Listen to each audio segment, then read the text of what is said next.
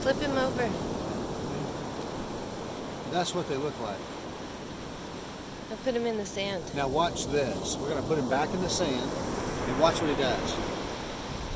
There he goes.